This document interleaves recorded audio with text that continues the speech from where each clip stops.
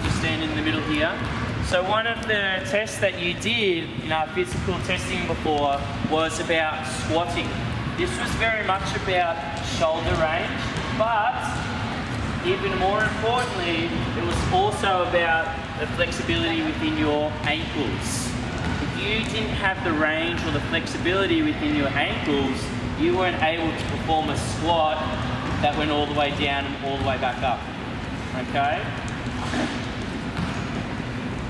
So what I'm going to get Zara to do, and she's going to stand side on so that you can see what her arms are doing, you can see what her body's doing.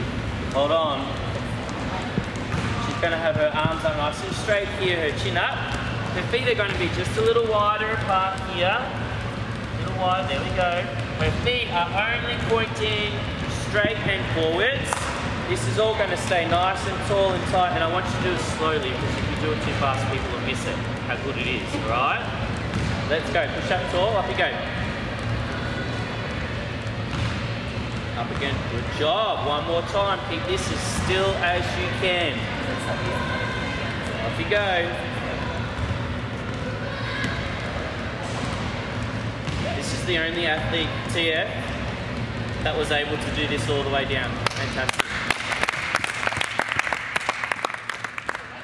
So what you need to do to be able to get all the way down and all the way back up, you need to make sure in your training that you're doing lots and lots of exercises to stretch your ankles so they've got full range, and lots and lots of exercises for your shoulders as well.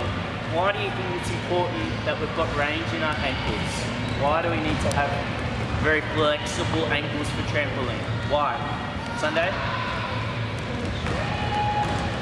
Because what? Okay, for injury prevention to stop us from injuring our ankles. If we've got more range, it'll stop injuries. Chase? Power when? Yeah, so it's going to give us more power on the trampoline to be able to jump higher. If you jump and your ankles aren't very flexible and you land in the bed on your toes like this, you're not going to be able to have anywhere near as much power as an athlete that they get all their weight all the way through their foot and use the trampoline then to spring them up higher. Okay, if you jump on your toes like this, you end up having to do more work. If you've got your weight coming through your heels, through all of your foot, you're going to be able to let the trampoline do more work for you. So I know that Zara, she grows a little bit more, she's going to have a really good time of life. She can keep all of this technique going as she's learning all her new skills. She's going to be able to jump really high.